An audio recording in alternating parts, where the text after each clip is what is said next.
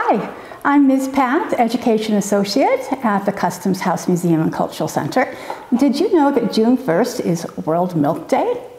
World Milk Day is an international day that recognize, recognizes the importance of milk as a global food. To celebrate, we're going to do a quick, easy science experiment that's really cool. What we'll need for this experiment is some milk, some dishwashing liquid, food coloring, a Q-tip, and a plate. I'm going to pour the milk into the plate. Add about three drops each of each food coloring right in the middle.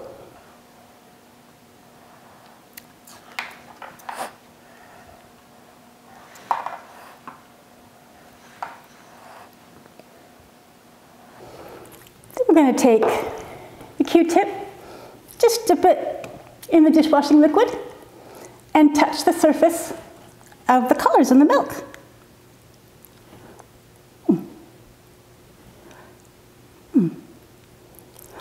What's happening?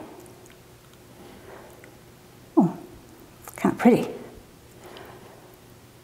I don't know if I mentioned this experiment is called magic milk. But it's not magic at all, it's science. Just keep on touching it until it stops doing the cool thing that it's doing.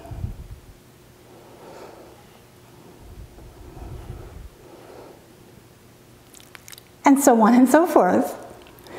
So what's the science behind this? What's going on?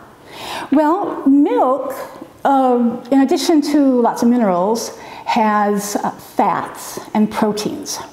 The molecules in the dish soap are a degreaser.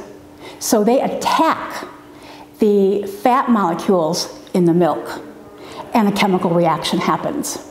That's what causes the swirling of the colors. Let's try it one more time now that we know what's going on.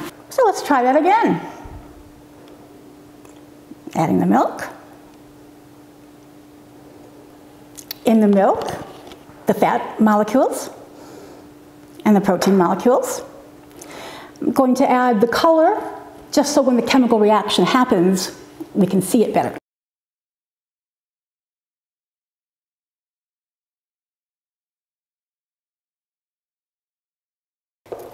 Now I'm going to add the dishwashing liquid again, and the molecules in the dish soap are going to attack the molecules of fat in the milk kind of like Ms. Pac-Man, and chase them all over the surface, attacking them. That's the chemical reaction that you're going to be able to see because of the swirling colors.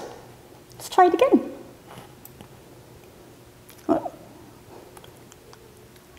That's a chemical reaction you're seeing.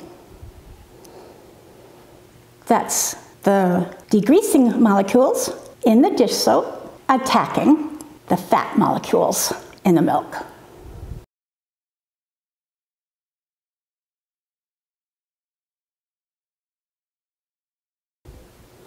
That's pretty cool, huh? I hope you enjoy it. Thank you.